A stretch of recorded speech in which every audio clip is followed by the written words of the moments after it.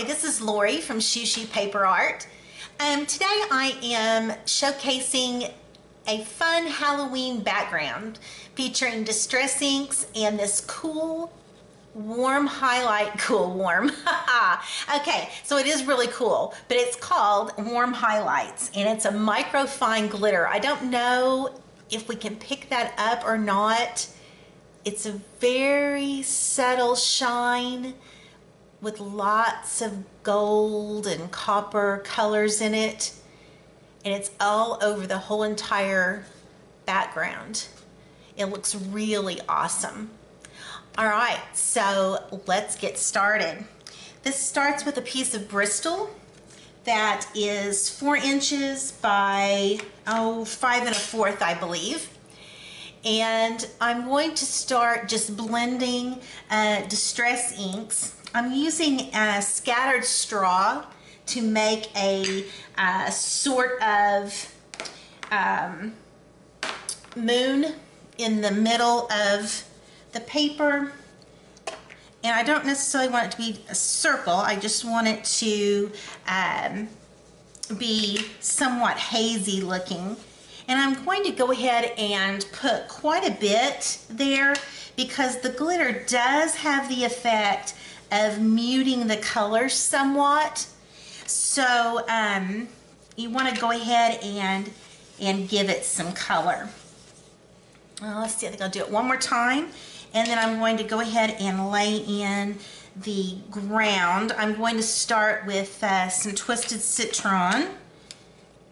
And then I'm going to come in with a little bit of uh, peeled paint.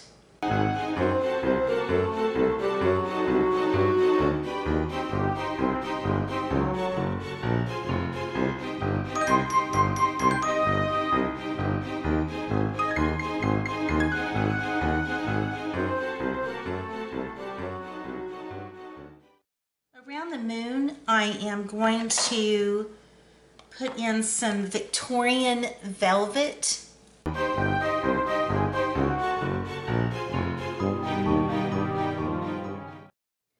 going to add some Dusty Concord.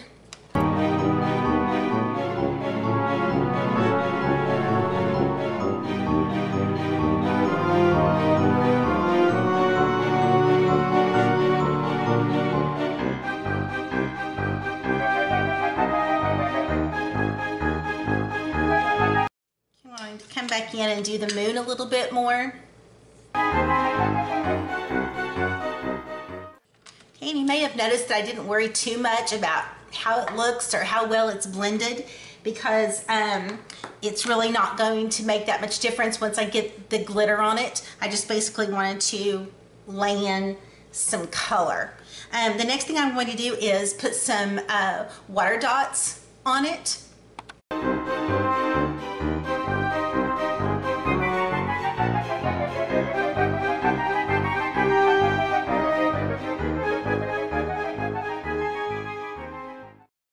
To make sure this is completely dry. You could either um, let it dry on its own or you could use a heat tool or maybe a blow dryer. Now I'm going to stamp on the trees and this is from the Spooktacular Friends set from MFT Stamps. It has these cute little critters um, and some little pumpkins and the haunted house and trees. So um, I'm going to put the trees under the glitter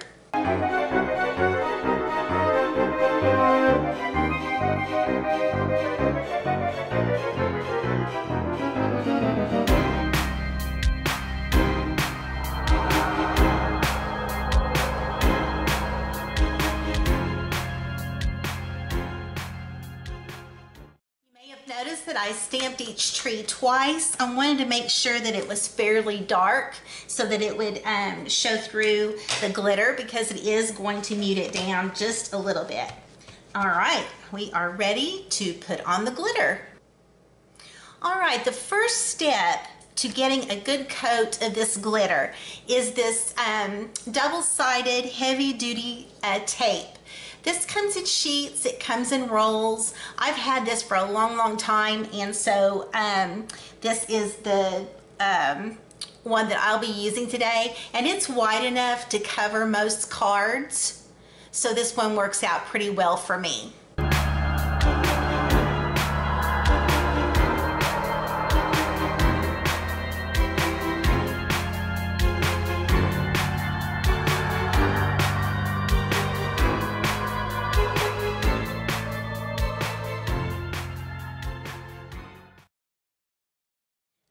And use non-stick scissors.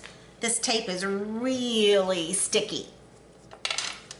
And once you have it um, trimmed around your card, you can go ahead and peel off that top layer.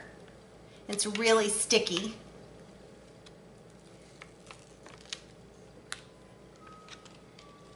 All right.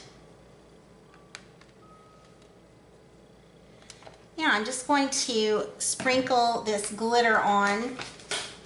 And um, you know I'm going old school here. Just a piece of copy paper to catch my glitter.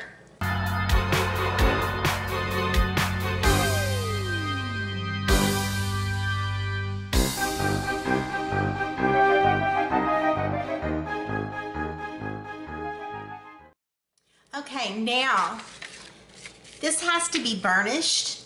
So I'm just going to start by rubbing it with my fingers first and just getting all of the loose glitter off of the front of the card.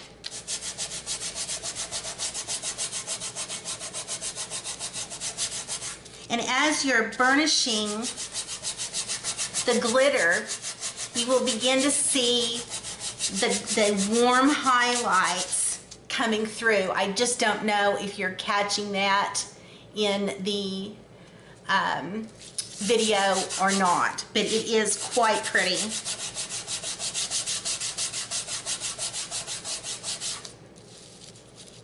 All right, after I've burnished it with my fingers, I'm going to take a bone folder and continue the process of burnishing the, um, the glitter.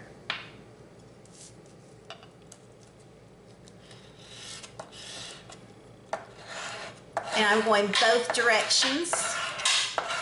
All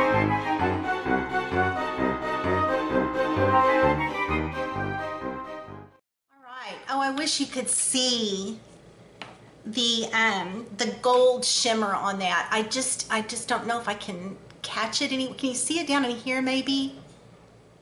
It's like this all over. It's it's just gorgeous. It really is. Okay. I put this um, piece on some gold 110 pound cardstock and it is so pretty. The gold just completely sets off those warm tone highlights.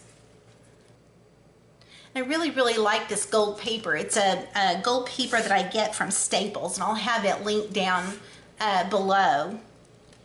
Okay, and then um, my card base is black.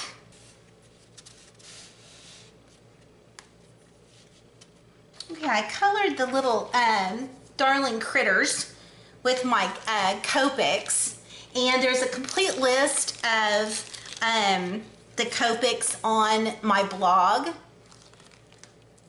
Most of these are just simply colored. I might mention um, the owl. His uh, coloring is a little bit darker than the, the orange color is a little bit darker than the color on the mouse. And this is actually oranges and lavenders. And that turns out really pretty. The sentiment is um, from the stamp set and it is heat embossed with Lawn Fawn um, embossing powder, white, and um, Versamark ink. And I'm just going to put um, these critters on, let's see, the rabbit and the owl are with pop dots. And everything else is just glued in place.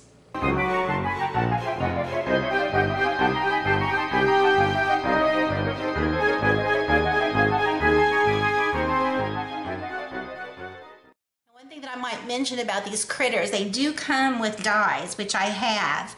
But when I cut them out with the dies, you know, they leave a white um, um, area around the image. And I, I really didn't, don't usually mind that. But for some reason on this card, I really just wanted the images with no um, white around them. So I went ahead and cut them out by hand instead. And it wasn't too bad. The only thing that was a problem was the mouse's tail because he has a really cute little curly cue and I just couldn't get that cut. So he ended up with a kind of a little straight tail there at the end, which, yeah. and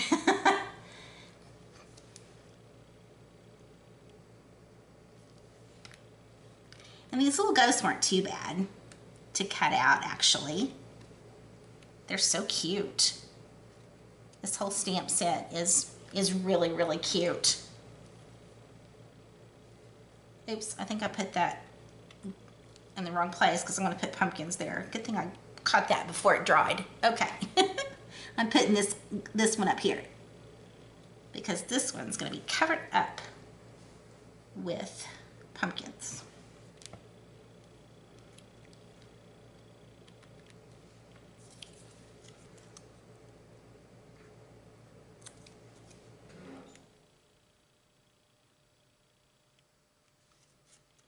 Right, so there are the Spooktacular Friends. Aren't they cute? And this fun glitter background. I just love it. It's so pretty.